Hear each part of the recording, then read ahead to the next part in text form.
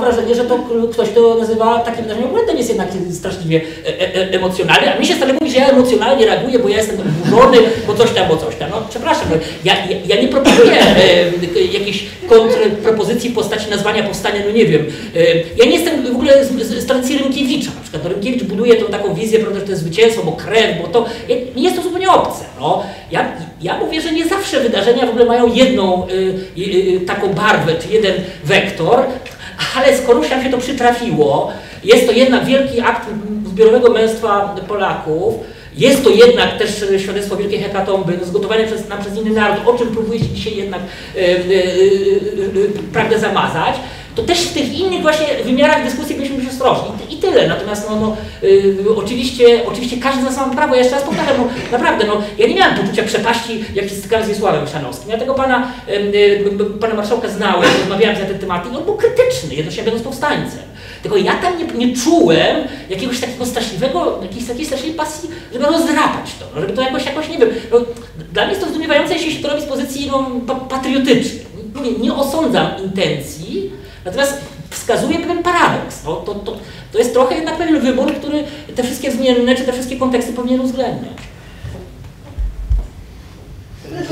Mam, mam być znowu zastępczym Zychowiczem. Ja bym chciał powiedzieć, że jakkolwiek źle to zabrzmi, ja mam pewien problem z Muzeum Powstania Warszawskiego. Nie dlatego, że mi ono przeszkadzało i, i broń Boże nikomu nie chcę odmawiać y, prawa do tego uczczenia, bo powstańcy zasługują na muzeum, jakkolwiek ich dowódcy i politycy, którzy wtedy podejmowali decyzje, zasługują na surową krytykę historyczną. E, natomiast ja mam pewien problem, ponieważ uważam, że rozumiejąc doskonale to wszystko, y, co zostało powiedziane o wygraniu powstania w PRL-u, Uważam, że znowu jak to u nas odruch serca tutaj zadziałał, ale uważam, że to nie powinno być pierwsze muzeum, które powstanie w Warszawie dla tych, którzy, dla tych młodych, którzy bardzo mnie cieszy, dla tych młodych ludzi, którzy chcą, potrzebują tej polskiej narracji. Bo to jest rzeczywiście wspaniałe, że ujawnia się, że ta narracja jest potrzebna. Przecież my żyjemy w takich czasach no, pewnej powtórki Zapuchtina, tylko to jest taki euroapuchtin, który, nas, który nam usiłuje mam nadzieję, że są to syzyfowe prace z jego strony, które nam usiłuje wmówić, że polskość to nienormalność i nie, nie, nie wyjdziemy z grajdołka, dopóki się tej polskości nie wyrzeczemy. Tylko uważam, że tym pierwszym muzeum powinno być Muzeum Bitwy Warszawskiej. Gdyby ktoś się nad tym zastanawiał, to by doszedł do wniosku, że to jest najbardziej budujące wydarzenie w historii Polaków nowożytnych. To, że kraj, którego 123 lata nie było, pomijając spory, na ile on, nim było Księstwo Warszawskie i Królestwo Polskie.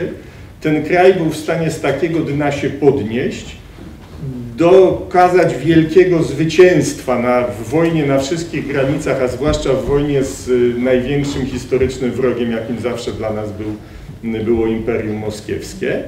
E, dokazać cudu organizacyjnego. W ogóle, no już żeby się nie roz, rozwodzić, roztkliwiać. I tak uważam, że to jest wydarzenie w oczywisty sposób najbardziej budujące, najbardziej warte uczczenia, najbardziej warte zbudowania na nim, na nim. Nie żebym ujmował czegoś powstania ale jednak bym nie od tego zaczął, gdyby się nad tym zastanowić. My mamy też mam wrażenie przez skupianie się znowu emocjonalne, no rozumiem te wszystkie emocje, chociaż akurat ja, jak większość warszawiaków ze wsi jestem i tam żadnych moich przodków na tej tablicy nie ma. Yy, ale dwóch moich przodków i dziadek i jego brat walczyli, jeden pod Radzyminem, a drugi tam niewiele dalej na froncie wschodnim w 20 roku, więc, więc yy, coś tam coś tam mogę w ich imieniu powiedzieć. Ale naprawdę nie dlatego przedkładam Bitwę Warszawską ponad, ponad powstaniem. Jest y, też takie wydarzenie, na przykład, które kompletnie tracimy, a które jest drugim centralnym wydarzeniem, to jest Solidarność. To jest też niewiarygodne. Ruch po 50 latach prawie takiego zgnojenia, jakim był PRL, no mniej, no, przepraszam, to 40, 35 właściwie wtedy latach, odradza się, powstaje takie... I co dzisiaj my wiemy o tym ruchu? Że nic, nie było żadnego ruchu. Był jeden Wałęsa, wielki Włódzki Sen, geniusz wszechczasów, który wyskoczył z Popowa, przeskoczył przez jakiś płot, którego nie było I była przy nim pani Krzywonos, która się okazała bohaterką tych wydarzeń w momencie, jak opatyczyła Kaczyńskiego na zjeździe Solidarności, bo wcześniej nikt o niej nie słyszał. I jest, prawda, wielki piewca tego kieszonkowy Mickiewicz salonu, który zrobił o tym film.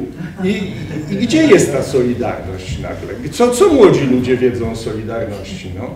Nic, nic, nic o tym nie wiedzą, bo my to tracimy.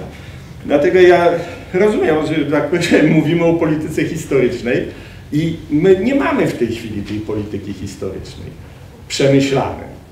A coś chcę na koniec powiedzieć, żeby było niekontrowersyjnie już, dlatego, że my mamy ogromną przewagę nad wszystkimi krajami Europy, które mają swoje opowieści, narracje na przykład o II wojnie, bo my jedynie mamy ten plus, że możemy nie kłamać. Ponieważ ich narracje brytyjska, rosyjska, amerykańska, to są niemiecka, to już oczywiście zwłaszcza, to są sterty bredni, jak się za to weźmie historia. Ja tu sięgałem w telefon, nie pomyślcie Państwo, że sobie tweetowałem, czy lekcjazłem, tylko nie mogłem sobie przypomnieć nazwiska autora, na którego się chcę powołać, wygooglałem. Robert Paxton. Napisał taką książkę Francja Vichy. We wstępie tej książki pisze, jaką gehennę przeszedł, usiłując dotrzeć do francuskich archiwów, żeby napisać historię armii rozejmowej.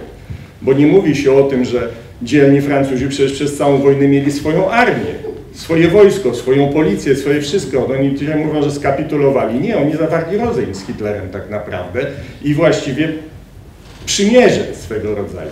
Tak jak się kompletnie nie mówi, kując nas w oczy, jak to Duńczycy uratowali wszystkich swoich 300 Żydów, odwożąc do Szwecji, nie mówiąc o tym, że okupacja Danii wyglądała tak, że wojsko duńskie miało jedno takie ograniczenie, że jak chciało zrobić manewry w polu dłuższe niż 3 dni, to musiało to temu tam amt komendantowi zgłosić, żeby prawda, poinformował. No ale, więc y, Robert Paxton opisuje Francję Vichy, że nie mógł się dostać do tych archiwów, w końcu się dostał do niemieckich. I nagle w niemieckich archiwach znalazł informację, jaka to siła okupacyjna stała w czasie wojny w okupowanej Francji. Otóż w szczytowym momencie podaje, było to wedle archiwów niemieckich 60 batalionów tak zwanego Landesschütze, czyli 40 tysięcy ludzi, przy czym średnia wieku żołnierza wynosiła bodaj 48 lat. I te 48, i te 40 tysięcy starych dziadków, przepraszam, mogę mówić w swoim wieku, ja już jestem o rok starszy od tej średniej, te 40 tysięcy wystarczyło, żeby ten wielki francuski resistance, który w, w książce Alana Bewora zajmuje trzy razy więcej miejsca niż, niż polska Armia Krajowa, która miała 380 tysięcy ludzi pod bronią w szczytowym momencie. Ten wielki rezystans wystarczało, żeby trzymać prawda, w, w, w posłuchu. To naprawdę, jeśli ktoś chce się dowiedzieć prawdy o francuskiej historii okupacji, to w serialu Alo Alo jest jej więcej niż w Ale ale dlatego oni wiedzą, że nie należy zachodnich historyków wpuszczać do swoich archiwów. Podczas gdy my mamy pajaców, którzy jeżdżą po całym świecie i się biją w piersi, prawda, za polskie przewiny zajedwabne, wy, wykłamane przez Grossa. No i to jest oczywiście rzecz, o której, o której zapominać nie wolno. Yy, I o tym trzeba pamiętać, że my naprawdę nie musimy się wysilać, żeby stworzyć dobrą narrację historyczną, bo nasza historia po prostu sama w sobie jest dobrą narracją, tylko trzeba ją umieć wydobyć z niej to, co najważniejsze. E, dziękujemy prelegentom. No, został niecały kwadrans e, publiczności. E, może, proszę, proszę. Ja do pana y, Zimkiewicza. Y, to znaczy, jestem purystką językową i to wieczne nadużywanie słowa narracja mnie drażni, ale to z drugiej strony mnie nie drażni, dlatego że to nie jest opowieść o historii, tylko to jest, każdy ma swoją narrację. Pan ma taką, a drugi ma inną. Nie ma narracji w historii, tylko są fakty. E, to jest jedna rzecz. Druga rzecz, która mi bardzo przeszkadza, kilka Pana określeń tego, co się działo w Polsce, przypomina mi PRL. Jestem stara baba i pamiętam gazety PRL-u i ksiąg, podręczniki szkolne. E, I również wypowiedzi różnych polskich pisarzy i artystów. Jak Chrystus na wojny wyskakiwać, machanie szabelką. Ja bardzo przepraszam, ale mnie ten ton rozmowy nie odpowiada. Narracja Pana mi nie odpowiada, dlatego że ja Panu nie każę mieć takich poglądów czy innych, ale każdy pogląd można wyrazić w sposób, e, e, no powiedziałabym, salonowy. Jeżeli to w ogóle w obecnych czasach zrozumiałe. Przepraszam, ale prosiłbym o sformułowanie pytania, bo naprawdę zostało mało czasu. Pytania, no pytań nie mam, ja tylko się dzielę uwagami. Jeszcze ostatnia uwaga, że e, jako kobieta panu mówię, że w dawnych czasach to było tak, że jak było nieszczęście w rodzinie, to ludziom było smutno. Tylko tyle. A może być tak, no znaczy mówię nieszczęście, jakieś wydarzenia, które są Pana zdaniem kompromitujące, które często, jak zresztą Pan Zaręba stwierdził, nie miały miejsca, no to ja bym się smuciła wtedy, nie cieszyłabym się szalenie, a ci Polacy tak zrobili, a nie inaczej. Dziękuję. E, Ja mam bardzo krótkie pytanie pierwsze. Czy pan Zaręba jest pewien, że ten tytuł Obłęd pochodzi od autora, a nie od wydawcy? Bo, bo on być może ma tylko, był taki tylko po to, żeby się książka lepiej sprzedawała. Tak, się żało, to mógł. A, a, teraz, a drugie pytanie jest takie. Pan mówi, że historycy są oblężeni. Być może, ale, ale widzę jednocześnie wielką falę e, historii. Na, na przykład prawie każdy tygodnik już sobie zafundował dodatek historyczny. I w sieci, i do rzeczy, i Focus, i Newsweek, i, i nawet Gazeta Warszawska, i nawet Polska sobie teraz funduje jakieś dodatki historyczne. Wydaje mi się, że jest właśnie wielka fala zainteresowania historią. To wszystko. Obraz rzeczywistości jest bardzo skomplikowany, bo po- powiem Państwu szczerze, no, na przykład y, y, serial Czas Honoru, o którym ktoś tam chyba w pewnym się wspomniał, y, jest w wielu miejscach bardzo naiwny, rozbieżny z realiami, natomiast no, powiem Państwu szczerze, że mnie bardziej wzrusza nie to, że ten serial, y, y, już piąty sezon jest pokazywany, ale po, takim, po tym serialu młodzi aktorzy opowiadają o realnych wydarzeniach, o bohaterach tamtych wydarzeń, czyli rzeczywiście tutaj ta, ten postulat Janka Żaryna, żeby to, znaczy ta, ta uwaga, że ci żołnierze wyklęci częściowo zostali jednak uratowani, czy odkłamani, jest prawdziwa. No tylko problem jest taki, że nie wiadomo co wygra, bo to jest, bo to, bo to można widzieć jako element wielkiego zwycięstwa, a można też widzieć jako element jeszcze starych czasów, pewnej siły bezładu, prawda? Telewizja publiczna wykonuje pewne servituty, natomiast y, czy wygra, i tu się boję użyć słowa narracja, pani y, to, to trochę skrytykowała, czy wygra wersja, dobrze, czy wygra wersja krytyki politycznej Gazety Wyborczej, czy wygra wersja y, no ta jednak bliższa nam, no to ja tego nie wiem po prostu. To znaczy myślę, że to jest jeszcze kwestia wielu lat, jeszcze nie dziesięcioleci. Czy ja tylko chciałem powiedzieć, bo nie będę się spierał co do oceny moich manier, mogę tylko powiedzieć na usprawiedliwienie, że hrabiego nigdy nie udawałem i żadnych herbów na sygmetach nie nosiłem. Natomiast jak mówię o narracjach, to mówię o narracjach. Jakby mówił o faktach, to mówił o faktach. To nie jest to samo. To jest zupełnie mówimy o czym innym. Mówimy modnym obecnie słowem narracji określa się pewne opowieści, którymi się posługuje w sferze publicznej.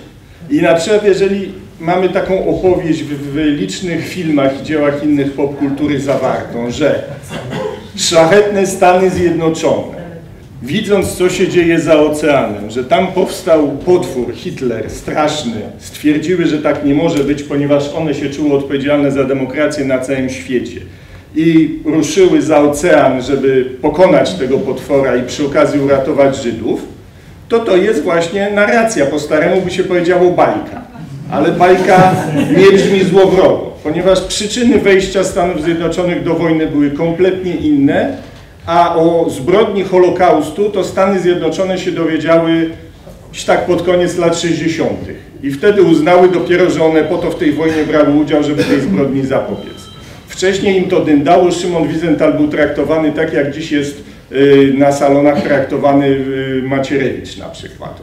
Jako jakiś oszołom żydowski, który nie wiadomo o czym opowiada i czego, i czego chce. To dzisiaj jest tak, że nie można dostać nagrody w y, konkursie Oscara, jak się zrobi o czymkolwiek innym film niż o Holokauście, ale tak nie było, więc mówię o narracjach, bo to znaczy co innego niż historia. I jak rozumiem, my się tutaj umówiliśmy na to, żeby rozmawiać właśnie o tych narracjach, a nie o badaniach historycznych. Narracje według Pana? Wydaje mi się, że właśnie przed chwilą to powiedziałem. Jest to pewna opowieść i jak mówię, my mamy tę przewagę, że my nie musimy naszej opowieści fałszować. My ją możemy oprzeć na faktach, tak zwanych autentycznych. Nie jestem Zychowiczem. Ja, ja recenzowałem tę książkę i nie chcę już wchodzić w naprawdę w rolę zastępczego Zychowicza. Y, Można, przepraszam, Tak, tak, tak, proszę bardzo. bo moim zdaniem nie jest to takie proste z tą narracją niestety. To znaczy, y, ma Pan rację, Panie Rafale, że to jest oczywiście opowieść, tylko że mm, ona y, przestała być y, domeną y, publicystyki, domeną zawodów, które mają prawo uprawiać narrację. To znaczy mają prawo wykorzystywać pewną przestrzeń, w tym przypadku przestrzeń historyczną, do realizowania celów bieżących, czyli udowadniania pewnych tez.